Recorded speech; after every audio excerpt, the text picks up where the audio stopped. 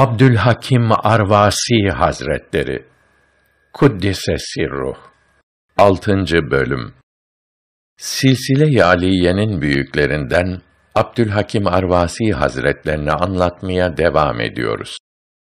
Hiç kimsenin Allahü Teala'ya olan edebinden ben dediğini duymadığı bir büyük olan Abdülhakim Arvasi Hazretleri vaazlarında, sohbetlerinde sürekli imanı ve kulluğun nasıl olması gerektiğini anlatır.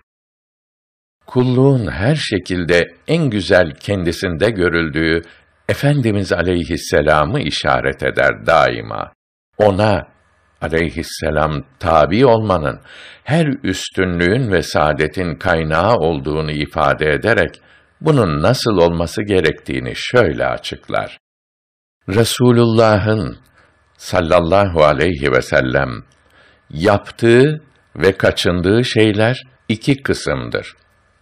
Birisi ibadet olarak yaptığı ve kaçındığı şeylerdir ki her Müslümanın bunlara tabi olması, uyması lazımdır. İkincisi bulundukları memleketin adeti olarak yaptığı şeylerdir. Bunları yapmak mecburi değildir adete bağlı şeylerde de Resulullah'a sallallahu aleyhi ve sellem uymak dünya ve ahirette insana çok şey kazandırır ve çeşitli saadetlere ve hayırlara yol açar. Abdülhakim Arvasi Hazretlerinin her haliyle, her anıyla tabi olduğu sevgililer sevgilisi Efendimiz aleyhisselamın üstünlüğü hakkındaki sözleri yine kendi sözü olan sözlerin büyüğü, büyüklerin sözüdür. Kelamı kibarının hakikatini gözler önüne serecek bir derinliktedir. Şöyle buyurur Abdülhakim Arvasi Hazretleri Efendimiz aleyhisselamın üstünlüğü hakkında. Her peygamber kendi zamanında kendi mekanında, kendi kavminin hepsinden her bakımdan üstündür. Muhammed aleyhisselam ise geçmiş ve gelecek bütün varlıkların her bakımdan en üstünüdür. Hiç kimse hiçbir bakımdan onun üstünde değildir. Bu güç bir şey değildir. Dilediğini yapan, her istediğini yaratan onu böyle yaratmıştır hiçbir insanın onu methedecek gücü yoktur. Hiçbir insanın onu tenkit edecek iktidarı yoktur. Abdülhakim Arvasi Hazretleri Efendimiz aleyhisselamın ümmetine olan merhamet ve düşkünlüğünü ise müminlere pek büyük bir müjde kabilinden şöyle açıklar.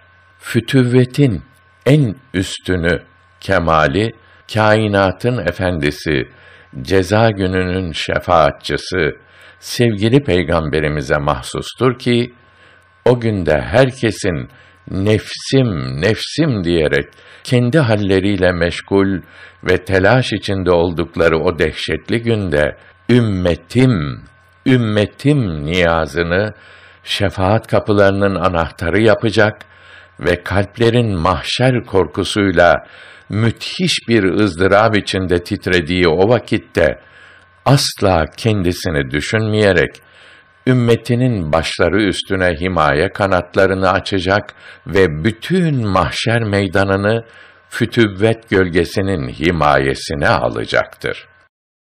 Abdülhakim Arvasi Hazretleri pek büyük bir velidir. Pek çok kerameti görülmüştür elbet. Onun bir kerameti ise yaklaşık vefatından 30 yıl sonra ortaya çıkmıştır. Büyük velinin sevenlerinden olan Sabri Bey bu kerameti şöyle anlatır.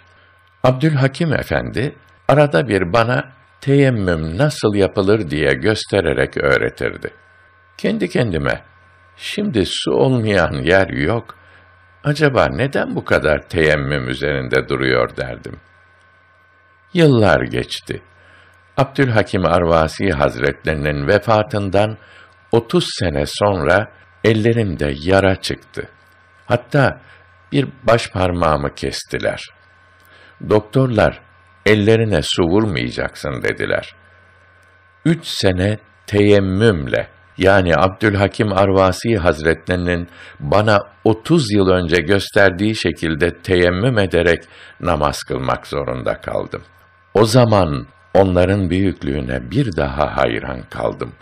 Çünkü bu apaçık bir kerametti.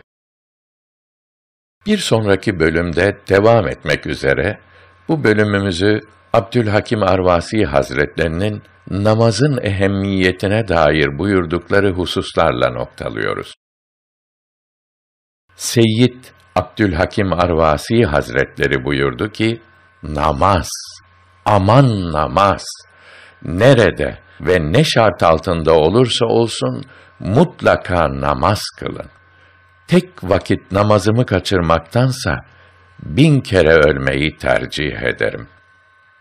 Abdülhakim Arvasi Hazretleri ayrıca kılınmamış olan farzların kazasının muhakkak ve acil olarak kılınması gerektiğini, sünnet yerine kaza kılınması durumunda hem kazanın kılınmış olacağını hem de sünnetin yerine getirilmiş olacağını hiçbir şüphe ve itiraza mahal bırakmaksızın binlerce ehli sünnet aliminden nakille kesin olarak şöyle açıklarlar.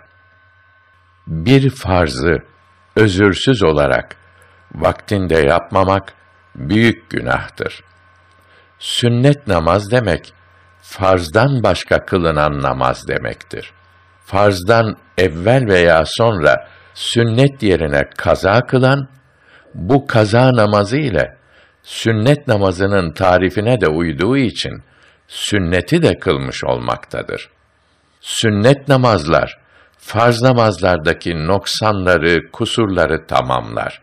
Yoksa kılınmayan farzlar yerine geçmez.''